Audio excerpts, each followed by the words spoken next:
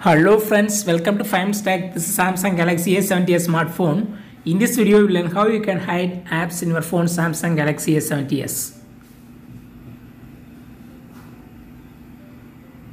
First of all, you need to go to the settings in your phone. Click here for settings.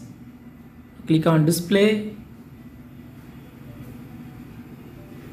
Now click on home screen. Click on hide apps and select the apps to be hidden.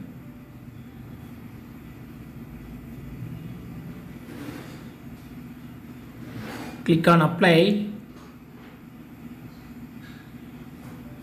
See it in the home screen. The selected apps are hide.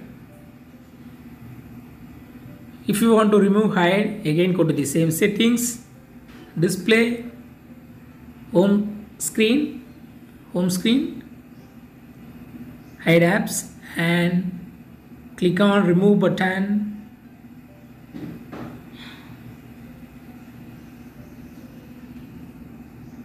Click on apply. Yes. The removed apps as shown here. That's all friends. Thanks for watching. Subscribe for more videos. And take care. Bye